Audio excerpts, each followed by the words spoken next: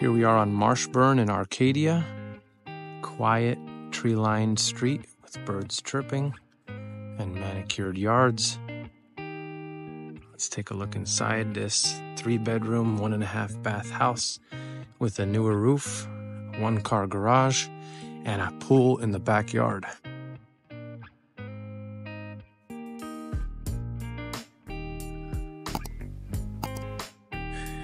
Here is the main living room as you enter with a nice view of the front yard and a dining area here.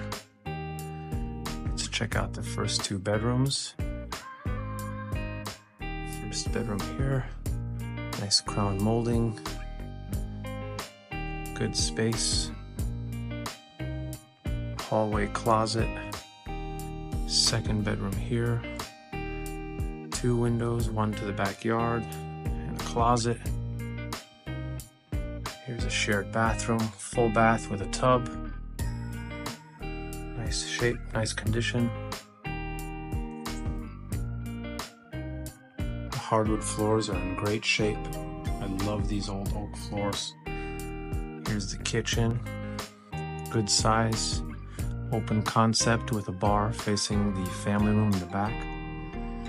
There is a range hood vent up there, and this is how it connects as you come in the front into the kitchen.